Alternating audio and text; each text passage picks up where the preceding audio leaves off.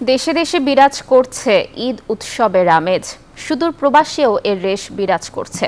দেশে স্বজনদের ছেড়ে বিদেশের মাটিতে রেমিটেন্স যোদ্ধারা এক হওয়ায় মিলন মেলায় পরিণত হয়। প্রতিনিধিদের পাঠানো তথ্যচিত্রে ডেস্ক রিপোর্ট কেনাকাটায় একশো পার্সেন্ট পর্যন্ত ক্যাশব্যাক জিতে নিন বিএমডব্লিউ সহ হাজার হাজার পুরস্কার। ঈদের রেশ এখনও কাটেনি আয়ারল্যান্ডে। রাজধানীর ডাবলিনে বিভিন্ন পার্ক আর বিনোদন স্পটে পরিবার পরিজন নিয়ে ভিড় করছেন অভিবাসী বাংলাদেশিরা। বাবা মায়ের সাথে ঘুরতে পেরে খুশি বাচ্চারাও। যে যেখানে আছেন, আজকে আমরা ঈদ উদযাপন করছি। সকলের জন্য আবারও ঈদ মুবারক। আমাদের বাংলাদেশি ভাইয়েরা প্রচুর পরিমাণ এখানে আছে এবং একটা ভালো কমিউনিটি এবং যেটা আনন্দবহ বাংলাদেশের এবং বিশ্বের যেখানে সব মুসলমান ভাইদেরকে ঈদ মুবারক। বাংলাদেশ কমিটি কর্কের পক্ষ থেকে সবাইকে জানাই ঈদের শুভেচ্ছা ঈদ মুবারক। মসজিদের পাশে রাইডিং পার্কে অনেকেই পরিবার নিয়ে বিভিন্ন রকম রাইডে চড়ে। ঈদ আনন্দের সাথে বাড়তি আনন্দে উচ্ছ্বাসিত ছিলেন। এর আগে রাজধানী ডাবলিন ও কর্ক সহ বিভিন্ন শহরে বিভিন্ন দেশের মানুষের সাথে প্রবাসী বাংলাদেশিরা স্বতঃস্ফূর্তভাবে ঈদ নামাজ আদায় করেন। বিপুল উৎসাহ উদ্দীপনার মধ্যে দিয়ে আদি সভ্যতার দেশ গ্রিসে পালিত হলো পবিত্র ঈদ উল ফিতরের নামাজ।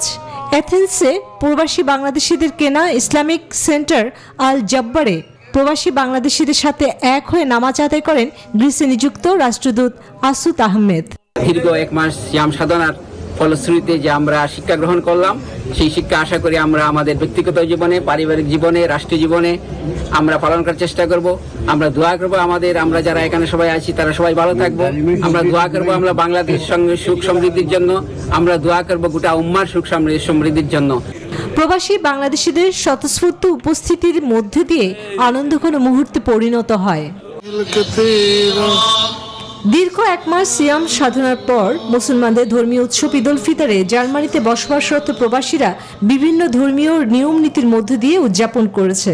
রাষ্ট্রদূত মোশারফ হোসেন ভূঁইয়া ও জার্মান আওয়ামী লীগের সভাপতি ও জার্মান বিএনপি সভাপতি আকুল মিয়া বার্নিরে প্রবাসী বাংলাদেশিদের সাথে ঈদের নামাজ আদায় করেন। বাণিজ্যিক নগরী ফ্রাঙ্কফুর্টে ঈদ উৎসবে মাতেন প্রবাসীরা। অস্ট্রেলিয়ার সিডনিতে যথাযোগ্য মর্যাদায় ধর্মীয় ভাবগাম্ভীর্য ও আনন্দ উচ্ছ্বাসের মধ্যে দিয়ে শুক্র ও শনিবার দুদিন ব্যাপী ঈদ উল ফিতর উদযাপিত হয়।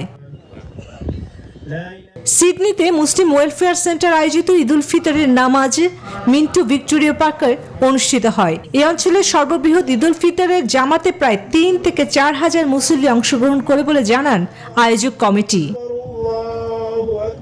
Chandrani Chandra, news twenty